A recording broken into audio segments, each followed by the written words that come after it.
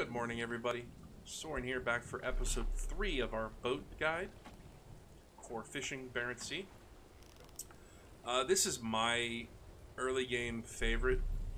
Um, I just like the overall look of the boat. It's more traditional. Uh, still, I mean, still nothing too spectacular overall. You still cannot have any additional crew. It costs just over half a million crowns.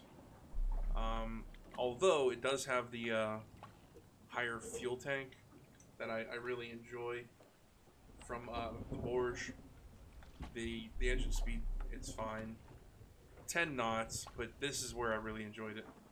I had a good system down of dropping four lines and then going to haul my other gear and then redropping four lines, trying to keep them offsetting. You can do maximum length of 2,000 hooks, which is a 200 meter line.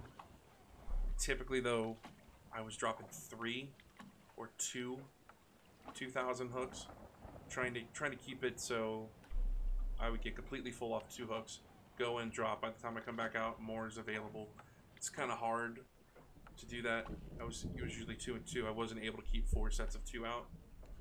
But these are just regular long lines, the same as the Borge. I'm not gonna not going into any um, actual gameplay of doing that. We've already covered that. But we can kind of give, uh, we're going to pop off the dock real quick and go inside. Obviously our logbooks here, our storage our storage uh, tracker, our sonar, GPS, our fuel, speed, all our light commands, horn. After that we'll stand up and take a little bit of a peek.